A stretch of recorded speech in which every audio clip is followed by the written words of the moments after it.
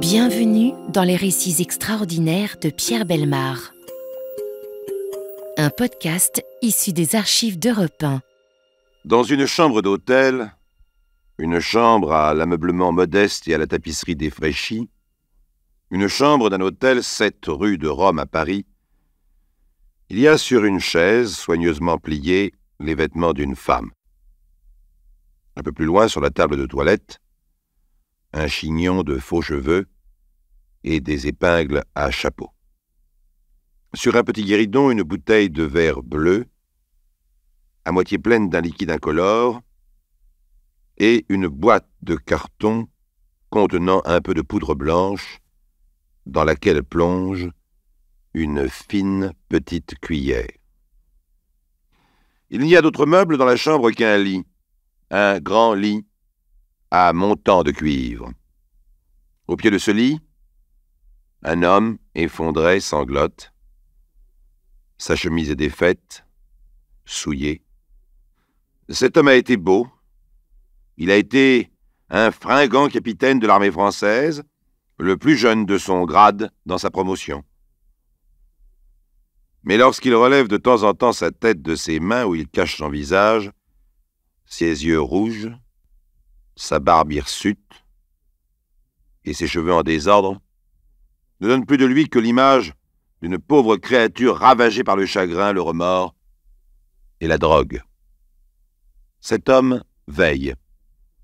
Cet homme a veillé toute la nuit le cadavre d'une femme nue, allongée sur le lit, et qu'il a pudiquement recouvert d'un drap froissé. Cette femme était sa fiancée mais c'était aussi une demi-mondaine, qui se faisait appeler la baronne Olivier d'Ambrécourt, de son vrai nom, Madeleine Delvigne, Madol pour les intimes. Cette femme morte a été tuée par cet homme. Il l'a veillée toute la nuit. Elle a été assassinée par son amant, son fiancé, plutôt dans cet hôtel peu reluisant de la rue de Rome à Paris. Et maintenant, l'homme se lève. Il tourne une dernière fois la tête vers la silhouette cachée par le drap froissé, il prend son manteau et sort.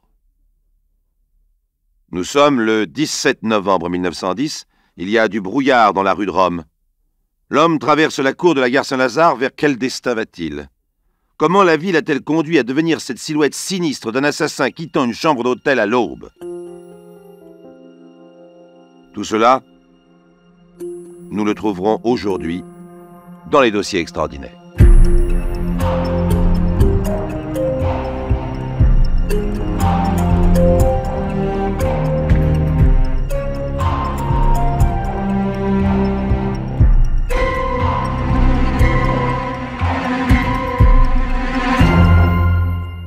Pour en arriver au sinistre tableau que je vous ai dépeint, pour qu'un jeune et brillant officier en soit arrivé à assassiner une femme un peu légère qui s'était promise en mariage à lui, il aura fallu qu'une certaine Julie Pilois meure en 1893 sans enfant.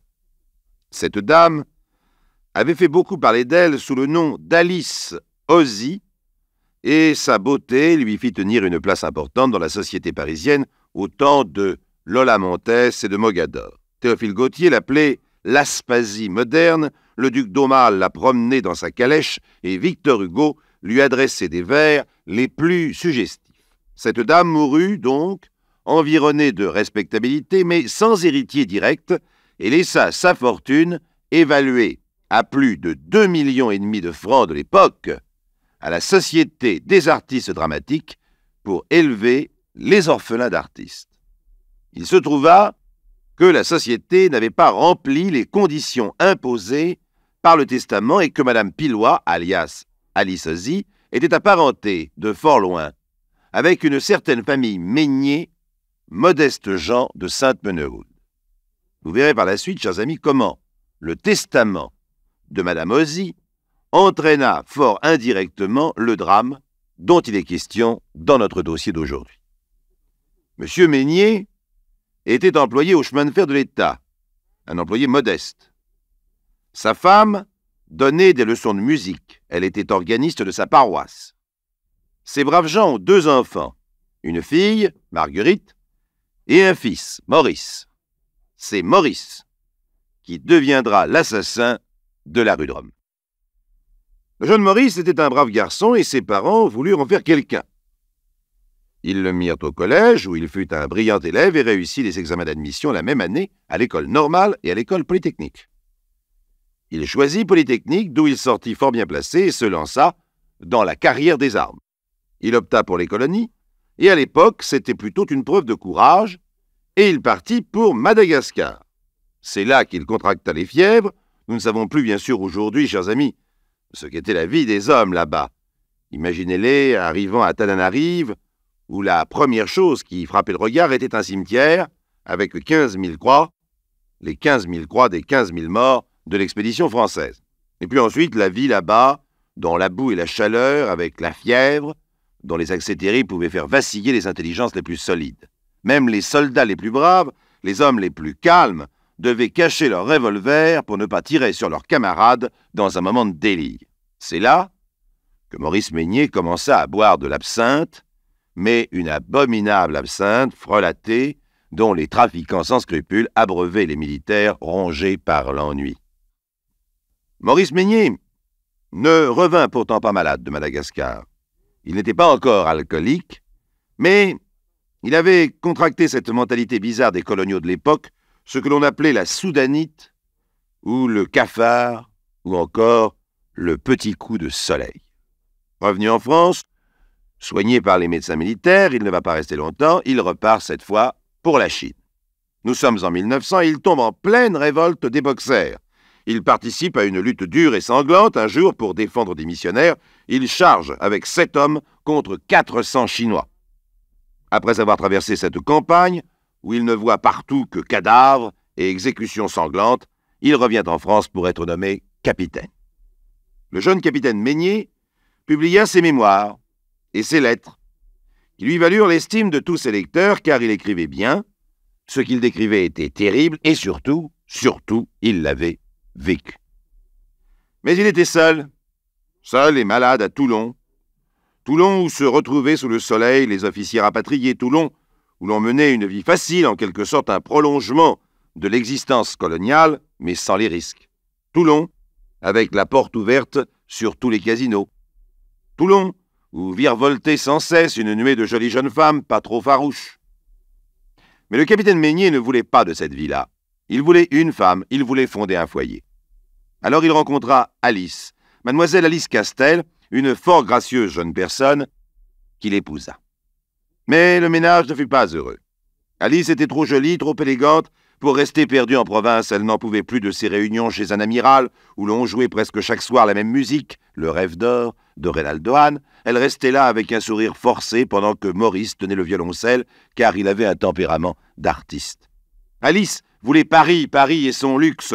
Mariée, nous le vîmes beaucoup moins, écrivait l'un de ses excellents amis de l'époque. Sa femme sortait très peu dans le milieu qu'il fréquentait et dédaignait ses relations. Elle refusait obstinément d'accepter les invitations continuelles et insistantes de Madame l'amiral préfète maritime. Certes, on peut comprendre en un certain sens cette femme qui craignait de voir sa jeunesse passer dans ce milieu tiède et sans avenir. Alors, pour plaire à sa femme, le capitaine Meignet abandonne le concours d'inspection des colonies qu'il préparait, se fait mettre en congé pour trois ans, quittant tout pour l'emmener vivre à Paris. Mais comment vivre à Paris? Une jeune et jolie femme a besoin de beaucoup d'argent dans la capitale. Alors l'officier va essayer d'entrer dans l'industrie. Mais il n'est pas fait pour cela. Il tombe entre les mains d'un aventurier belge qui lui fait prendre une part importante dans la société des lits métalliques.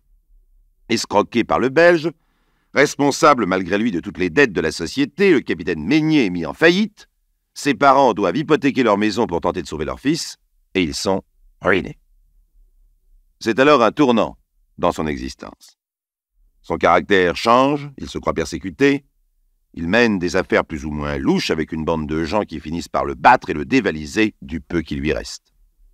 Et comme dans la vie d'un homme, un malheur en entraîne souvent un autre, c'est à ce moment-là que son ménage sombre. Sa femme, lasse de cette vie, le quitte pour divorcer. Trop de travail, trop de malheur, trop d'émotions. Ce jour-là, au moment de refermer la porte, Alice, sa femme, voit Maurice Meignet tomber à terre et se rouler à ses pieds. L'apoplexie hystérique. Il reste trois heures sans connaissance et il conservera longtemps de cette attaque une hémiplégie du côté droit. Soigné à l'hôpital de Toulon, il en ressort mal guéri et c'est un homme malade qui va rencontrer Madeleine Delvigne, pseudo-baronne Olivier d'Ambrécourt, celle qu'il tuera un 16 novembre dans la chambre 23 d'un hôtel de la rue de Rome.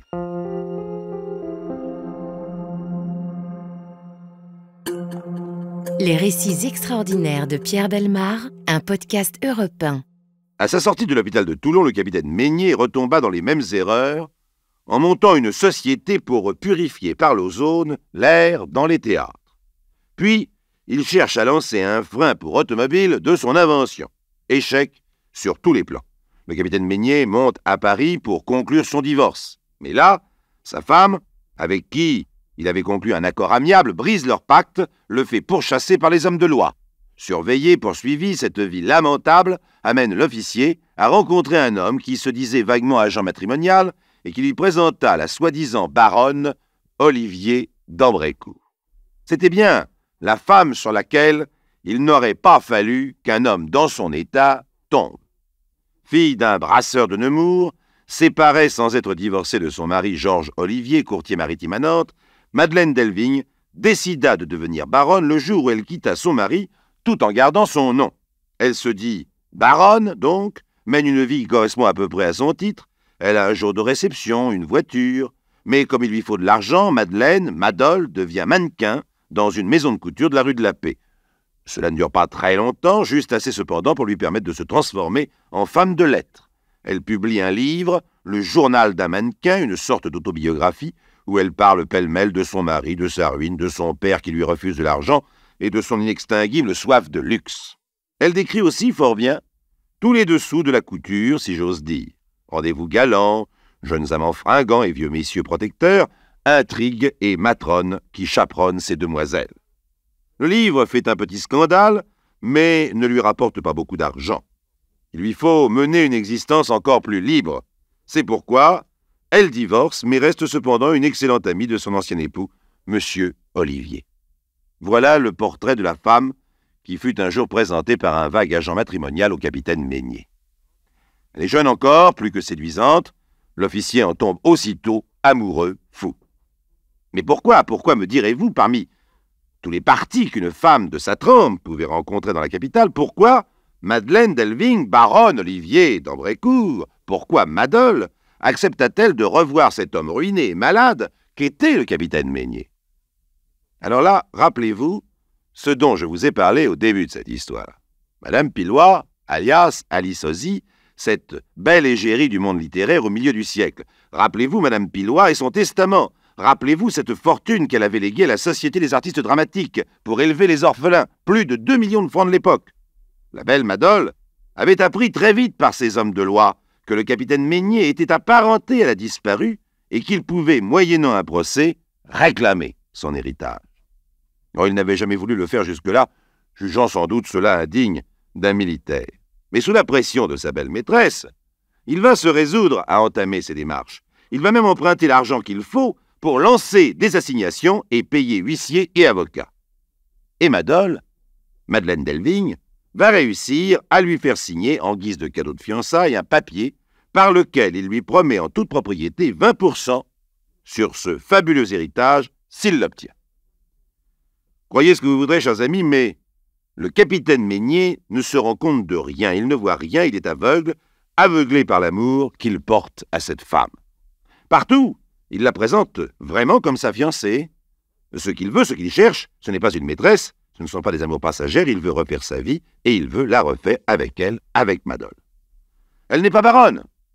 C'est incroyable, mais il ne le saura jamais, jamais, jusqu'à la dernière heure, et nous en avons la preuve dans une lettre qu'il a laissée.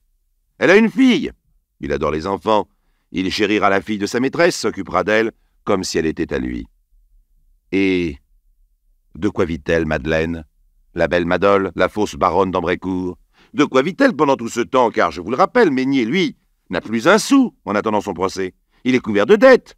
Et pourtant sa fiancée mène toujours son train de vie inchangé, dans la luxueuse rue des Bordes Valmore, l'une des rues les plus chics du 16e arrondissement parisien. Eh bien, elle vit d'une pension que lui verse son papa, le brasseur de Nemours. Ou tout au moins c'est ce que croit le naïf capitaine Meignier. C'est ce qu'elle lui raconte. En réalité, Madol avait un autre amant, un homme aisé, un certain monsieur Hart. Elle avait parlé de lui à Meignier, semblant jouer la franchise et mettre les cartes sur la table, mais elle avait promis bien sûr de le quitter, ce monsieur Hart. Or, il n'en est rien. La pension du papa Brasseur n'a jamais existé et c'est le monsieur qui subvient à tous ses besoins. Elle cache cette liaison qui dure à son fiancé, et pour cela, elle invente, la belle Madol, des ruses invraisemblables. Par exemple, elle lui dit qu'elle va partir seule se reposer à Cannes, à l'hôtel Gonnet. Meignier, qui passe par hasard à la gare de Lyon, le lendemain, voit M. Angelart monter dans le train de Cannes. Le capitaine descend sur la côte. À l'hôtel Gonnet de Cannes, personne. Madol et son amant sont descendus sous un faux nom dans un autre hôtel. Meignier ne les trouve pas, remonte à Paris, fou de douleur, et quelques jours plus tard, Madol revient, souriante et décontractée, laissant traîner dans ses affaires, comme par hasard, une note truquée à l'entête de l'hôtel Gonnet, avec mention de la location d'une chambre pour une personne. Meignier peut donc voir qu'elle lui ment, qu'elle le roule dans la farine, qu'elle se moque de lui. Il oublie tout. Il est amoureux. Il veut épouser Madeleine. Mais elle lui rejoue deux ou trois tours du même genre, promettant à chaque fois de quitter son amant, retournant avec lui en cachette chaque fois que c'est possible. Pendant ce temps-là, elle aiguillonne toujours le malheureux capitaine pour qu'il poursuive son procès et touche son héritage. Un jour désespéré, il ouvre enfin un peu les yeux et se décide à rompre, franchement, loyalement, et dans son esprit définitivement. Ils se rendent mutuellement leurs lettres d'amour. Alors, Madol, qui n'admet pas d'être lâché alors que l'héritage est peut-être proche, va se mettre à le poursuivre par une correspondance incessante où elle joue la grande passion et les femmes abandonnées. Maurice, comment vous dérobez ainsi? Je cours après vous depuis deux jours, et vous ne voulez pas me voir. Que vous ai-je fait? J'ai eu confiance en vous, voilà mon seul tort. C'est impossible que moi, qui depuis six mois vous ai aimé, vous ai reçu à bras ouverts, vous m'abandonniez parce que je vous sais pauvre, puisque j'accepte votre pauvreté. Maurice, mon pauvre Maurice, ne soyez pas méchant, venez à moi, venez tout me dire. Je vous aime, j'ai un chagrin fou, je suis prête à tout pour vous reprendre. Où sont vos serments d'autrefois? Je suis malade, je mourrai si vous ne revenez pas. Vous ignorez donc ma nature et mon caractère, vous ne savez donc pas que je vous aimerai cent fois plus, sachant que vous n'avez rien. Quelle que soit votre situation, aussi modeste soit-elle, je me regarde comme votre femme et veux le devenir malgré tout, et nous serons très heureux, mon cher fiancé aimé. Vous verrez que je suis l'ami des mauvais jours et que vous aurez en moi une amie sûre. Votre Madol. Voilà ce qu'elle lui écrivait. Voilà ce qu'il a cru, car cela a marché. Ils sont retombés dans les bras l'un de l'autre. Ils décident leur mariage. Mais quelle sorte de bonheur espère-t-il Le capitaine Meignier s'est mis à boire de l'absinthe, plus que de raison. Madeleine et lui se sont rejoints dans un autre plaisir, un autre vice, la drogue. C'est de l'éther tout d'abord qu'ils absorbent. Et puis, cela ne suffisant pas, ils se procurent de la cocaïne, et c'est le plus souvent pour cela qu'ils se rencontrent dans cette chambre de l'hôtel du 7 rue de Rome. Ivres de drogue, ivres de stupéfiants, ils vont passer des journées entières prostrés dans un fauteuil ou sur le lit, les yeux exorbités, fixes, le front en sueur, immobile, perdus dans l'illusion de leur paradis artificiel. Ce jour-là, le 16 novembre, ils ont rendez-vous à nouveau. Mais Madeleine, à laquelle sa drôle de vie commence à tourner la tête, a également projeté de rencontrer son amant, M. Angelart, dans un bar non loin de là. Elle voudrait bien pouvoir rencontrer les deux hommes dans la même journée et jongler avec ses rendez-vous comme elle le fait d'habitude. Mais elle arrive à l'hôtel, elle n'a pas déjeuné et elle a déjà pris de la drogue. Alors elle est malade. Elle vomit tellement qu'elle sent bien qu'elle ne pourra pas aller au bar où on l'attend. Alors elle se déshabille, plie soigneusement ses vêtements, pose ses faux cheveux sur la table de toilette et se met au lit. Et elle va avoir cette extraordinaire audace d'envoyer le capitaine Meignier à sa place pour faire comprendre à son autre amant que son rendez-vous est annulé. Elle raconte à Meignier qu'elle a rendez-vous avec une certaine mademoiselle Mélandry dans ce bar. Il faut que Meignier aille la prévenir que Madeleine est souffrante. Meignier y va, fait rechercher la demoiselle par le barman, bien entendu elle n'est pas là, mais son rival, qui l'a vu entrer, a compris, et s'éclipse discrètement. Meignier ne l'a pas vue, revient à l'hôtel. En passant, il achète une bouteille d'eau minérale pour sa maîtresse souffrante. Il la retrouve dans la chambre et vient s'étendre auprès d'elle, tout habillé sur le lit. Ont-ils repris ensemble de la drogue à ce moment-là? Je ne le sais pas, mais toujours est-il qu'ils se mettent à parler, et à parler de manière de plus en plus tendue. Et Madeleine parle d'argent, bien sûr. Et l'on en vient à prononcer le nom du rival. Mais oui, dit Madeleine, lui, il a de quoi vivre. Lui, ce n'est pas un minable, c'est un homme. Oui, il est toujours mon amant. Et d'ailleurs, je l'aime. Je ne veux plus m'encombrer de toi qui n'as plus le sou. Qu'est-ce qui fait le plus mal au capitaine Meignet Ces mots horriblement durs de celle qu'il aime et qu'il doit épouser Ou bien la gifle qu'elle lui envoie au paroxysme de la colère Alors il lui saute à la gorge, la serre, laboure de ses ongles la peau de cette femme qu'il aime, et qui, nue dans ses bras, vient de lui avouer qu'elle le méprise, et il serre, et elle se débat. Alors là, sous la main, il trouve, en une seconde, la bouteille d'eau minérale sur la table de nuit, il frappe. C'est fini. C'est un corps sans vie qu'il allonge sur le lit, qu'il recouvre du drap froissé, et au pied duquel il va s'écrouler pour le veiller toute la nuit. Puis au matin, il sort, et il écrit deux lettres, où il avoue son crime, l'une au commissaire du quartier, l'autre à son rival. Au commissaire, il dit Hier, dans un accès de jalousie, j'ai tué ma fiancée, la baronne Olivier d'Ambricourt. Ignorait-il encore à ce moment-là que ce titre était faux? Ou voulait-il respecter par-delà la mort le mensonge de sa bien-aimée? Puis, il annonce son intention de se suicider, ainsi d'ailleurs que dans la lettre à son rival, mais il précise d'abord qu'il veut aussi punir celui-ci. Et il disparaît. Il disparaît durant deux semaines. Il va errer presque comme un clochard, sans manger, dormant dans des hôtels sordides dont il change chaque nuit. Au soir d'une journée de la semaine suivante, c'est une silhouette sans forme que l'on verra débarquer à la gare de Nemours et se diriger en rasant les murs vers le cimetière où est enterrée Madeleine. C'est celui qui fut le capitaine Meignet qui vient déposer quelques fleurs sur la fosse à peine comblée et pleurait là pendant de longues heures. Puis il rentre à Paris, et on le retrouve le lendemain au ministère de la Marine, où il va mendier un louis à un de ses anciens amis. Et devinez pourquoi. Il a perdu son revolver, il veut mourir en militaire, il lui en faut un autre.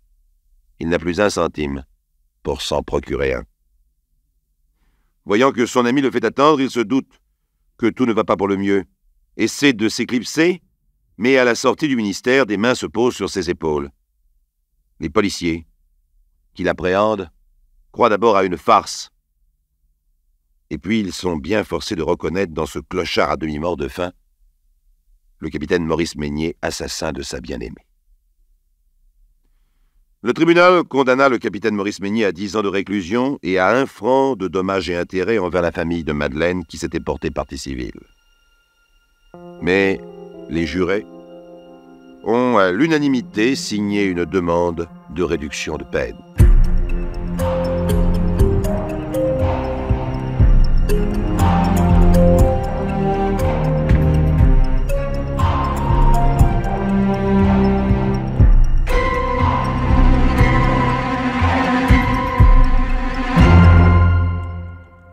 D'écouter Les récits extraordinaires de Pierre Belmar, un podcast issu des archives d'Europe 1 et produit par Europe 1 Studio. Réalisation et composition musicale, Julien Tarot. Production, Sébastien Guyot. Patrimoine sonore, Sylvain Denis, Laetitia Casanova, Antoine Reclus. Remerciements à Roselyne Belmar. Les récits extraordinaires sont disponibles sur le site et l'appli Europe 1. Écoutez aussi le prochain épisode en vous abonnant gratuitement sur votre plateforme d'écoute préférée.